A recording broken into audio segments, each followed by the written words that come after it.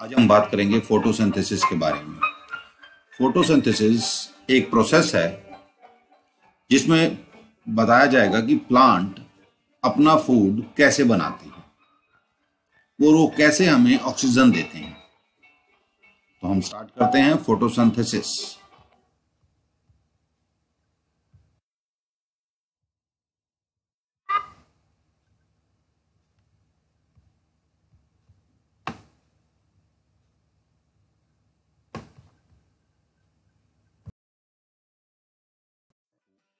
Photosynthesis से कैसे तैयार करते हैं?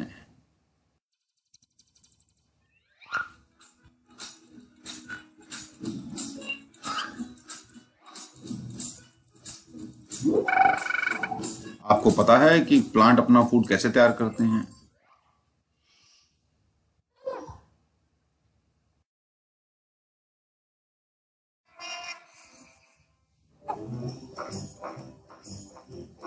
आओ सीखें। कि प्लांट अपना फ़ूड कैसे तैयार करते हैं। सबसे पहले सनलाइट की ज़रूरत होती है। जिस प्रोसेस से वो तैयार करते हैं, उसको फोटोसिंथेसिस बोलते हैं।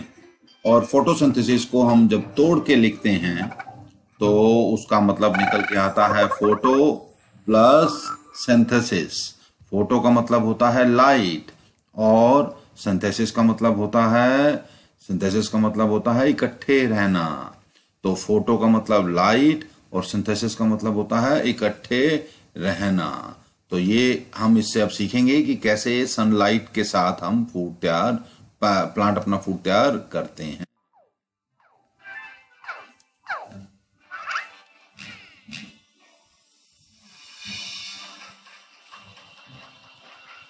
प्लांट्स को ज़रूरत होती है सबसे पहले सनलाइट की। इसकी ज़रूरत होती है सनलाइट की ज़रूरत होती है। सबसे पहले सनलाइट की ज़रूरत होती है कार्बन डाइऑक्साइड एयर से लेते हैं और साथ में पानी लेते हैं वो सॉइल से। तो प्लांट को बनने फ़ूड बनाने के लिए आप देख सकते हैं कि उसको अपना फ़ूड तैयार करने के लिए तीन चीज़ों की ज़रूरत होती है। सनलाइट कार्बन डाइऑक्साइड एयर से और प्लांट से। सोइल से वाटर तो तीन चीज़ों की ज़रूरत होती है। प्लांट को एक तो सनलाइट की ज़रूरत होती है, एक कार्बन ऑक्साइड कार्बन डाइऑक्साइड की एयर से ज़रूरत होती है, और वो वाटर जो है सॉइल मतलब धरती से लेते हैं। तो वो अपना फ़ूड तैयार करने में एक अपना फोटोसिंथेसिस का प्रोसेस इंप्लीमेंट करते हैं। अब हम उसके बारे में आगे जानेंगे। So we go further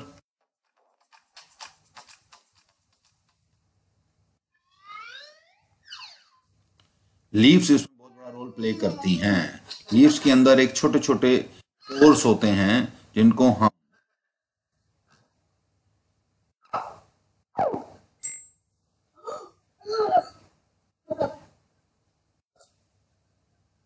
छोटे होल्स आप देख सकते हैं। ये छोटे छोटे जिनको हम स्टोमेटा बोलते हैं।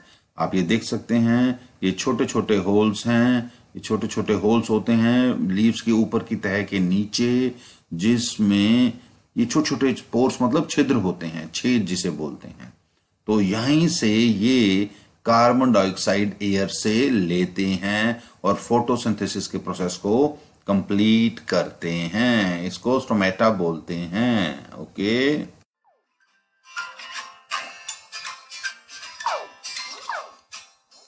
अभी आप देख सकते हैं कि कार्बन डाइऑक्साइड इन छिद्र से अंदर जा रही है। ये लाल लाल कार्बन डाइऑक्साइड के मोलिक्यूल्स हैं जो अंदर जा रहे हैं। आप देख सकते हैं आराम से। बहुत बढ़िया।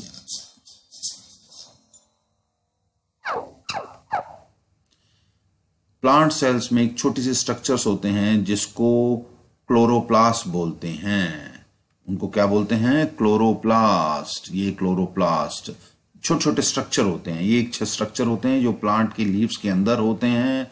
इनको हम क्लोरोप्लास्ट बोलते हैं और इसके अंदर क्लोरोफिल होता है। क्या होता है? ये एक एक तरह का जैसे हम फ़ूड बोलते हैं ना, एक बेसिक एक रॉ मटेरियल होता है। जैसे हम आटे की रोटी बनाते हैं तो आटा होता है।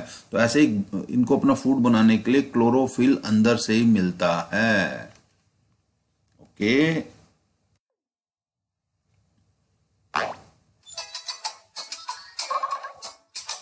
अब कार्बन डाइऑक्साइड और वाटर आपस में मिलते हैं और सनलाइट से एक फोटोसिंथेसिस का मिला के ये तैयार करते हैं और क्लोरोफिल के साथ ये बनाते हैं ग्लूकोज अब आप देखेंगे कि उसको कार्बन डाइऑक्साइड मिली कहाँ से मिली? कार्बन डाइऑक्साइड उसको मिली कहाँ से? कार्बन डाइऑक्साइड उसको मिली एयर से। उसको एयर से कार्बन डाइऑक्साइड मिली। और उसको वाटर मिला कहाँ से? सोयल से। उसको सनलाइट मिली अलग से और साथ में उसको क्लोरोफिल मिला जो अंदर रॉ मटेरियल की तरह पड़ा हुआ था और उसने बना दिया एक प्रोडक्ट जिसे हम बोलते हैं क्या? ग्लूकोज ये ग्लूकोज तैयार हो गया। ये बन के तैयार हुआ है ग्लूकोज इसके अलावा एक प्रोडक्ट और मिलता है और वो होता है ऑक्सीजन ये ऑक्सीजन पैदा करते हैं।